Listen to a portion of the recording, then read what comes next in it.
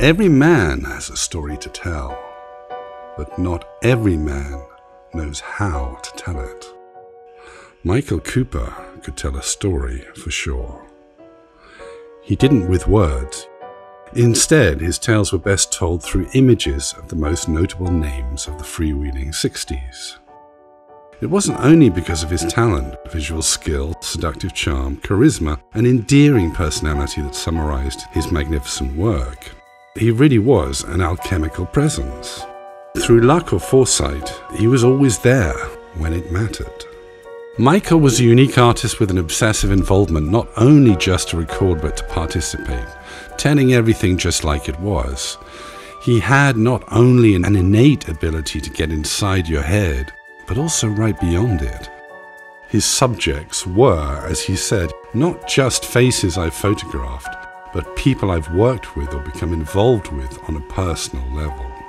They were icons of an era the world will never forget, thanks to his talent to capture them like nobody else did. July 1969, the Stones were due to take to the stage at Hyde Park. Brian Jones, the founder of the band, who became a fallen soldier of the times, having passed away two days before the event. As usual, Michael was there capturing greatly what became a memorial to Brian. As an homage, Mick Jagger read verses from Shelley's pastoral elegy, Adonais. And along with it, hundreds of white butterflies were released in his honor to fly high into the sky to greet his soul. Michael Cooper was a great artist and a great believer that any form of arts would make this world a better place. His magnificent work confirmed this greatly.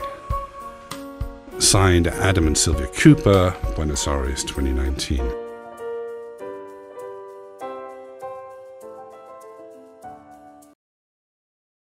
it's a lovely, immaculately put together. I looked at the thing and it's really cool. Um, and it's nice, as you say, that it's full of positive energy, that it's not bottom feeding and so forth. And well, what I did, what I did is I went, I went completely the opposite way to to others. Is you know, I spoke to Jane Rose, who's the manager of Keith, for example, and and I said, told her my intention. You know, I always keep them informed of what I'm up to and anything to do with them, and and she said, Oh, so I suppose you want to talk to Keith about Brian? And I said, Actually, no. And she said, Oh, really? That's, that's, that's surprisingly different. and I said, Well, with the greatest respect to Mick and Keith and Charlie as well, um, if I start putting in text into this book from them, it's going to draw the attention away from Brian and, and filter it through to them. And I want this book as much as it can be to be about Brian and, and less about them. You know, uh, you can't deny that the pictures in the book have got the stones in it, of course, but at the same time, uh, keep the emphasis on Brian. So I went completely the, the other way and I got in touch with uh, Linda Lawrence, who, who gave birth to, to Julian, his first son, um, Joolz, who's his uh, grandson, Brian's grandson, um, Sam Cutler. And these are these. Sorry to interrupt you. These are people who are contributing text. Yeah, they've right? they've all contributed text, including Donovan, who's been married to Linda for many years and knew Brian very well.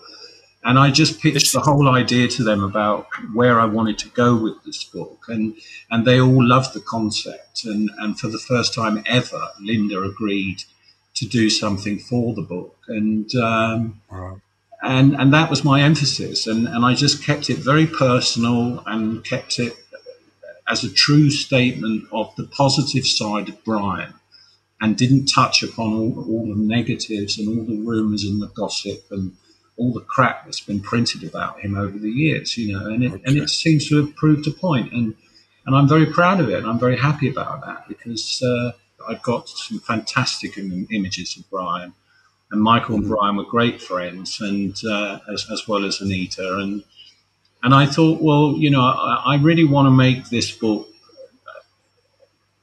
full of positive energy and and show the plus side of Brian and the fact that he was the founding member of the Rolling Stones. And the fact that, and this is for the sorry to interrupt you. This it was Brian's fiftieth uh, fiftieth anniversary of his passing Last yeah, year. last last year, and um, so, so, I thought it was. So you put this together, and that it's it's out. Let me not yeah, interrupt you. Just it, it's out. It's out as a limited edition, and it, it, you know, I mean, to to my amazement, it's sold out within days of its release. You know, there's not one copy. How many copies?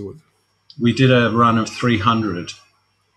okay, so limited, very limited edition. But I knew I knew that if it was successful, which it has been, then I would then follow that up, which we're doing right now, is is to produce it into a what they call a trade version, which is just just the book, you know, no slipcase and no extras and photos and postcards and all of that stuff just the book, right. an affordable volume, which will probably mm-hmm. sell for in the region of, let's say, 50 or $60.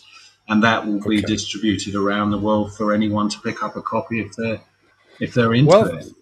Thank God for that. I mean, because I'm thinking of like the Exile book. I'd love to have a copy of that. But I think it's quite expensive. So, and probably the same. Uh, I don't know what uh, Butterfly in the Park was, but I don't know hundreds and hundreds and hundreds of pounds, right? Yeah, I mean, you know, it, it's the norm is is that you produce the limited edition, and that's somewhat of a test ground to see how popular it is. Uh, okay. and, and you're aiming towards serious collectors, you know. So, um, but the, res- the the reaction I've had to the Jones book is that I've been receiving so many messages through social media from people that are really into Brian and they say, yeah. you know, are you coming out with an affordable trade version because I can't afford to pay for the limited edition. So uh, and, and, we don't know when that might happen. Or well, it's, it's, it's, going to happen later this year. I've got three or four companies that, that want to take it, but it's uh, it's in the, okay. the, negotiation stage, shall we call it? okay. You know, the guy was a musical genius. We have to we have to recognise that he was a musical genius, and he founded the the greatest rock and roll band in history, um, and picked up an instrument and could play it in five minutes. Brian's downfall was the fact that he lacked tremendously confidence in being able to put pen to paper and write lyrics and write music, you know, and um, which was not deterred from him because of Mick and Keith. They didn't dissuade him; they they encouraged him, but he just didn't. He had something inside of him that just held him back and said, no, I'll leave that to Mick and Keith. You know, I'll just I'll take care of the instrumental side of things, and um, and that was Brian. Artists have these different sides. A lot of it is because they're very sensitive, quite frankly. So they get off into I don't know substance abuse. yeah, I think I think with Brian, but there's still a person there, so it's important to you know to, nice to feel that through your book. Yeah, I think the shame of it all, really, to be honest with you, with what you just said, which is absolutely correct. You know, they all creative people have got a sensitive side to them, but I think Brian was, let's say, too sensitive. You know, he he found it difficult to cope with the, uh, you know, the, the power of the record business, and um, right you know, some can cope with it and freely take it on board and deal with it and manipulate it and mold it the way they want it to be, and others they they crack. And you know, Brian brought a lot of baggage with him when he when he left Cheltenham. You know, he, he, he didn't have a particularly great relationship with his parents, and his sister died when he was very young, when she was very young, and that affected him. And and so when he met with the Stones, but he was sort of Jack the Lad in. Chelsea. He was Jack the Lad, and you know everyone called him the, the, dandy of London because of his fashion and everything else. And and he, right. he came across with a very sort of bravado and and sense of confidence, but inwardly, you know, there was right. a lot of suffering going on and. Uh, a lot of skeletons in the cupboard that he hadn't had the chance to really deal with, and then that in turn affected him with regards to, you know, drug abuse and alcohol and all of that business. And, and, and you think, I think it's, is it Stash, uh, Prince Stash, who says, uh, they they felt that all the pressure from the authorities, you know, that really was kind of too much for him. You know, well, they, I mean, the you know, the authorities, they they absolutely pinpointed the, the band. You know, they went after deliberately went after Keith and Mick and and Brian. You know, they they they saw the power that they had over the younger generation, and that they right. wanted to stamp it out and, and, and, and put their authority on top of it. And, uh, you know, Mick and Keith cope with it in their own particular way. And, uh, and Brian dealt with it in his way. But it was tremendous. Right, but tremendously. But there was a rift within the band too, so that well, they, he probably they, felt they, more and more isolated. As, well, the problem you know, was is that it after you know, Morocco. Right? Yeah, you know, well, that whole scene with with him and Anita splitting and she running off with Keith and whatever that, that certainly didn't help band relations in any way whatsoever. But sure. the, the number one thing for the band was that they were climbing the the ladder of success, and they were planning to go back to the states to do another tour. Which in those days, if you didn't crack the states, you didn't crack anything, you know. So, right. um, and because of Brian's drug, drug offences, the, the American authorities refused to give him a visa, so it meant that he couldn't travel. And wow, uh, I didn't know that. Interesting. Yeah, you know, and so you know the band are put in this terrible position where where one of their main players uh, can't travel with them because of previous offences. And and what year and was that? Do you know? They couldn't walk away from the state, so that you know they had to. They were pushed into this position where they had to say to Brian, you know, it, it, we can't carry on like this. And and of course, on top of all of that, Brian was was absolutely excessive about you know uh, his drug consumption and his and his alcohol consumption and and was spiraling out of control. And and as Mick right. said many times you know he'd come to the studio. Maybe he would maybe he wouldn't. When he did he was just completely out of it and he was incapable of doing anything. Let's go on to uh, to your father. After your father passed away your, who is your father? Talk about give us his name and what Michael know, Cooper. And uh, well, he was a photographer. He started at um, Maidstone uh, College of Art, and he was very impressive as, as a photographer. So much so that they actually hired him to teach photography to the students, even though he hadn't qualified at that stage. And word got out. I don't know how, but word got out and filtered down to to London and uh, and, and, to Vogue House. And um, they took a look at some of his stuff and they really liked it. And literally days after he qualified, he was asked to go to Vogue office and he sat down and they said, "We want to offer you the opportunity as junior staff photographer under David Bailey, who was the senior staff photographer." And of course. Michael at that time he snapped up the opportunity, but the he he he was he felt very very restricted because you know he was told where to go, who he was shooting with, how many rolls of film he could shoot, and that mm-hmm. just wasn't him. You know, he wanted to be free and he wanted to be able to go out and do his own thing and shoot the people that he wanted to shoot. How long did he last? At with Vogue? Or well, about two two years, and then he handed in his resignation, and everyone was absolutely astonished because you know in those days, if you if you got taken on by Vogue, it was like winning the pools, you know. So he was probably a little bit aware. It's a bit dangerous. Uh, well, he was very, very bohemian in, in the sense that you know he he didn't he didn't want to be working to instructions. He, he felt it was very important for him to express himself through his photography without restrictions. And and then you know once he left, he he started getting in with the likes of the Stones and.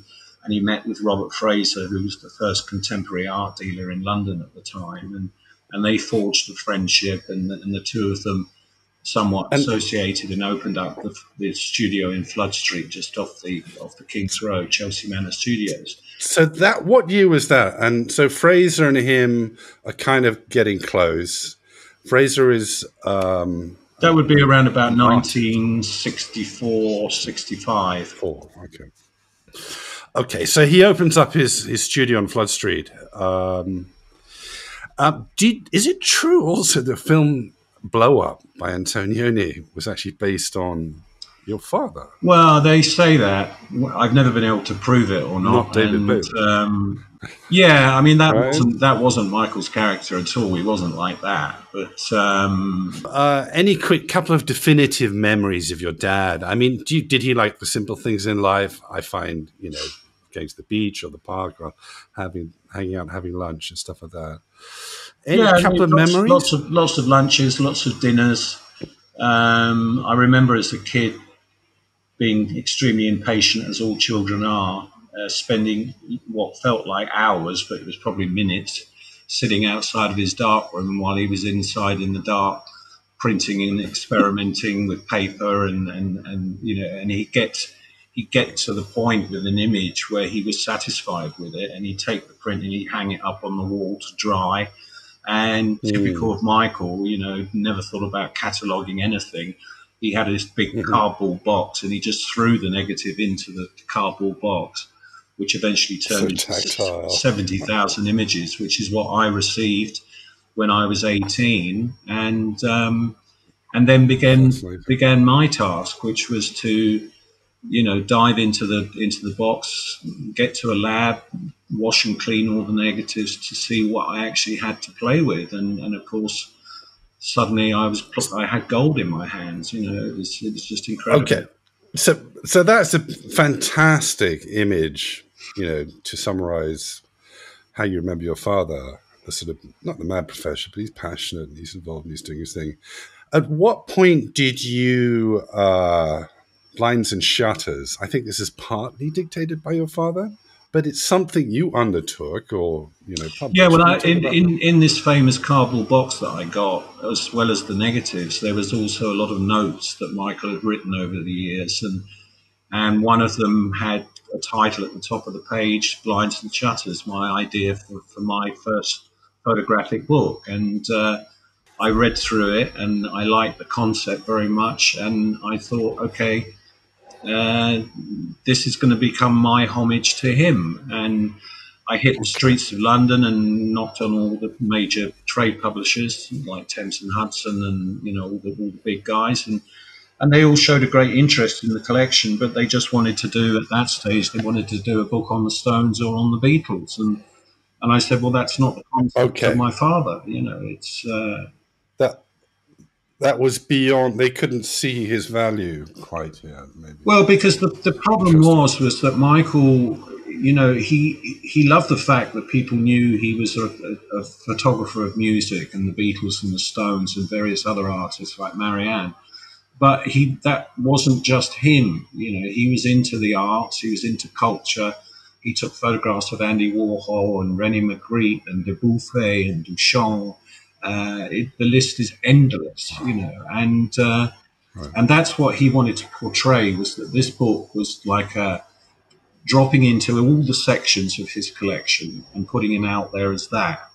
And it, I, I got very frustrated because it took me like two years to get myself into a position where I felt I was ready to be able to present this book to any publisher. And they were was that from editing and text and just yeah you know and they were all just you know let's do a beatles book and let's do a stones book. And i said no you know thanks very much. And that's when i get up and walk out the office. And it's just purely right. by luck that i i went into a, a, pub somewhere in the center of london to have a drink mm-hmm. and i bumped into again an old friend of michael's whose name was mr harry nilsson and harry oh, the singer yeah and Harry knew me as a kid, and I introduced myself to him, and he said, "Sit down, let's have a drink together." And I told him about what I was trying to do, and he said, "No, no, no, no." He said, "You're you're, you're wasting your time with all of these guys. The only way you're going to get this book done is to produce it as a limited edition." And I said, "Limited edition? What's that?" Wow. And he said, "Look, go and see this company. They're based in Guildford." Uh, they're a small company, but they produce some really beautiful work go and see Genesis Publications. And I sat down. What was his relationship with Genesis? Well, he'd been involved with them because he was sort of somewhat silently collaborating on on a book they produced about George Harrison called I, Me, and Mine. And uh, and Harry was very impressed with the way that they presented the book and the quality of the book and everything else. And he said, "You've got to go and see these guys." So I went and, and, and met with them. And finally, I, I came across a small group of people that really understood the concept of what blinds and shutters was all about. And then began the long journey of producing it and interviewing over 92 different contributors because Michael wanted the text to be made from the, the people within the photograph. Okay. Okay, and what year did that come out? That was released. Well, it's now celebrating 30 years. It was released in 1990, okay. but it took us seven okay. seven years to produce it. And um, and for me, in my mind, because of course, Exile and that book came out, and you know, Dominique was a one is a wonderful photographer and it was an amazing thing. But for me, it seems that Blinds and Shadows, this very circuit circuitous route of you know your father to you getting the legacy to Harry Nilsson and then Genesis.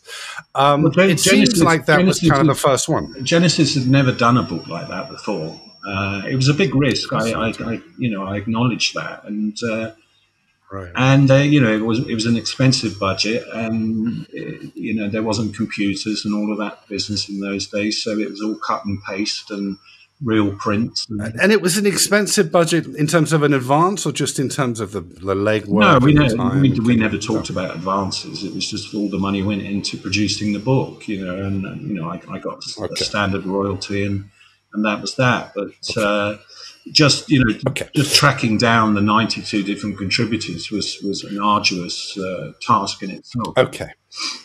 So then, at some point, uh, I, I guess Dominique and Anita have a similar idea and they make Exile, the limited edition book. Right.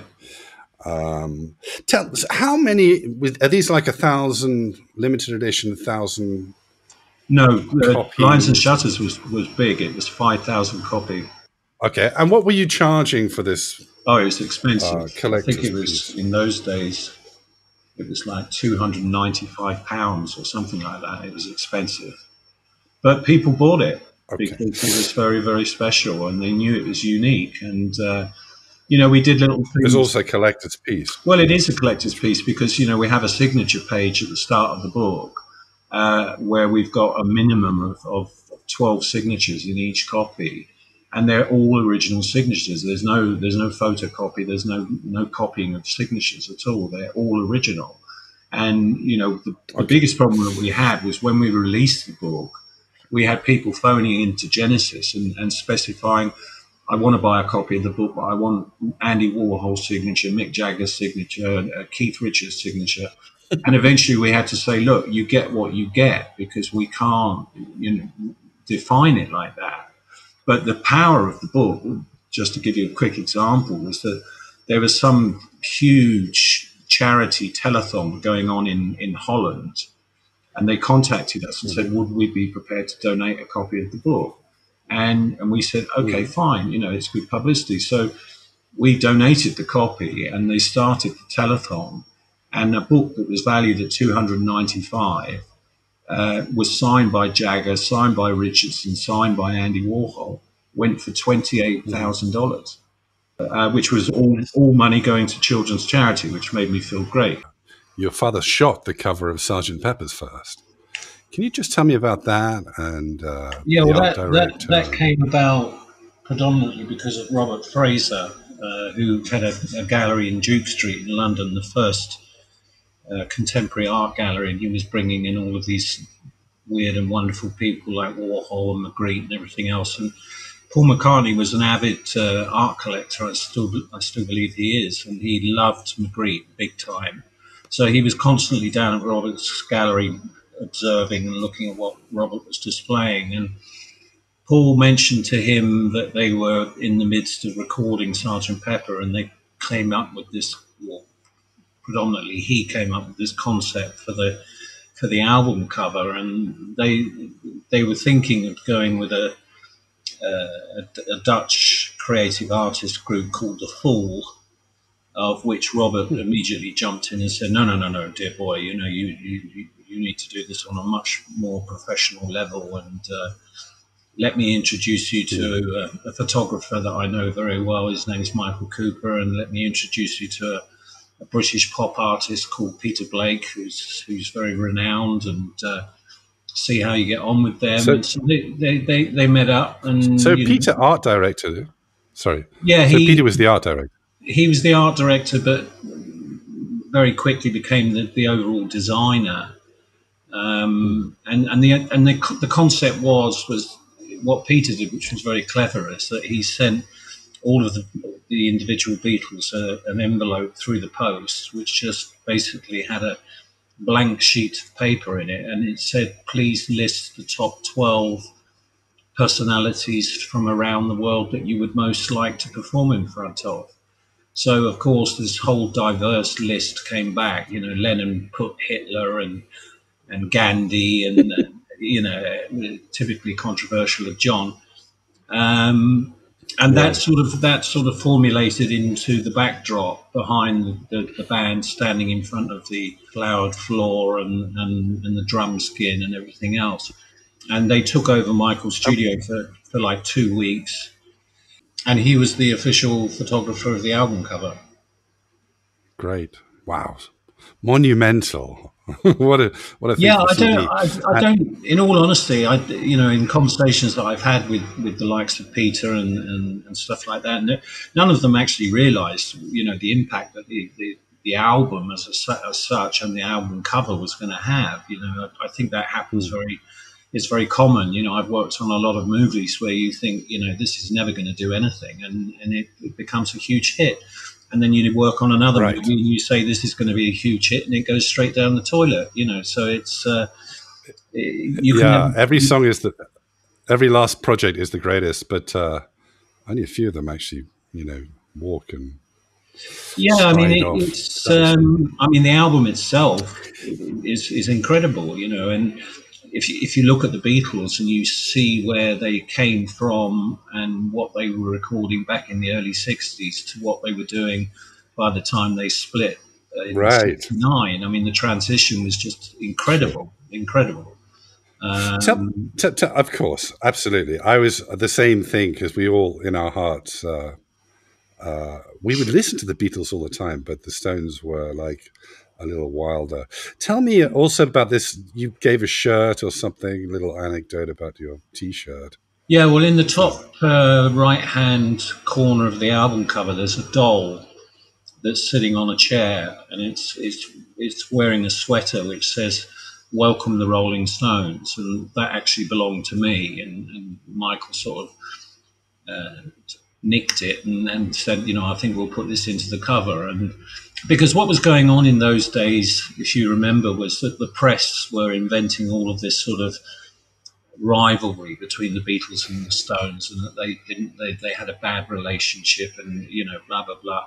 And it just wasn't true. You know, it, it literally was not true. You know, Keith is quoted as saying that they phone them up and say, you know, how's your album coming? You know, when are you going to release? We're going to release in two weeks. Okay, well, we'll hold our album back until you know for a few weeks so we don't clash you know and they had a, a mutual respect for each other but the press as always the typical british press they just wanted to sort of drum up rumors about uh, you know conflict right. and, and, and, all of that crap so well, i think i think keith also said look that the, the good boy image was taken, so we took the other one.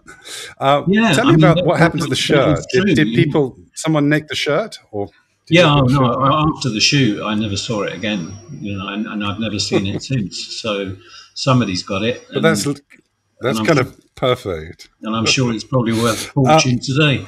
But if you look, if you look right. carefully, if you look carefully at Satanic Majesties, in the in amongst the flowers, you see four oval portraits of the Beatles, and it was their form of communication in, in replying through the album cover that all of this crap that the press were coming out with was was just literally crap. You know, they they had a mutual respect for each other, and uh, so it was it was yeah. sort of a quasi communication without actually saying it publicly. Do you know what like, I mean?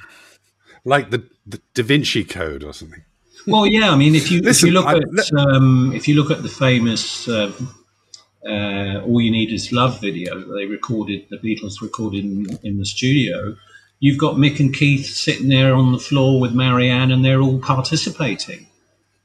So, you know, it just sort of dissolved all of this rubbish that was being created by the British press that there was this intense rivalry and competition between the two most successful bands of, of the moment, you know. Tell, tell me about, I think Michael was at Redlands, but also tell me just about Satanic Majesties. He also shot that. Well, Satanic Majesties came about it came about one because of his friendship with the band, with the Stones, and um, they were very impressed with the album cover of Sergeant Pepper, and they wanted to do their own version, if you want to call it that. And it's been compared over many years. But of course, typical of Michael, he wanted to take it one step further, and he wanted to actually turn it into a, a 3D uh, lenticular uh, cover of which there was only one camera in the world that existed at the time, which was just outside of New York, um, Vermont Studios, I believe it was. Right. And, um, you know, Allen Klein, who was the manager of the band, who was based in New York, said, okay, fine, you know, we, we, we can cover the cost, but you guys are going to basically put this cover together yourselves. There's not going to be a construction team. There's not going to be any assistance. Whatever ideas you've got, you can commit to, but you know you you've got to make it. And um, Michael, typical of Michael, you know, Keith always said he could get us to do things that we would never do for another photographer. So he sent them off shopping to buy the clothes and, and, and buy all the materials that were needed. And they came back to the studio and they took out the saw and the screwdriver and, and everything else and started started to construct this set. Well, I mean, the other thing also is in those days it, it, it, it, was much easier to, to actually get close to them. Now you've got you know dozens of red tape to cut through before you even get within hundred meters of any of them. You know, it's uh, it's all changed sure. now, and, and in all honesty, everything changed the day that Paul John was was murdered because everyone then realised I've got to protect myself because there could be some lunatic out there that's looking to take my life. You know, so it's right. It's, the whole the whole protective thing. Well, yeah. look, let me ask you because I kind of the um, there was a there was a kind of a sweet trip. You guys because they came by Nellcôte. We were at Nellcôte. Uh, Mum passed away, I guess, two years before your dad uh, it was a mixed, you know, the best of times, the worst of times, all that sort of. Uh, it was really an amazing time. Um, but your dad came through and shot a, you know, obviously Dominique was there, but he shot some beautiful pics. I think just for a day or two, right. and then you guys went down to Italy to, I think Roman Polanski. He shot a, I think stills. Is that right? Yeah, he was the official stills photographer on a film called What with uh, Marcello Mastroianni which uh, okay. another one of those projects that went straight down the toilet. but uh, it was yeah, fun for I mean, you, it, but it, Polanski was not well. No, it was a fantastic uh, experience for me as a kid.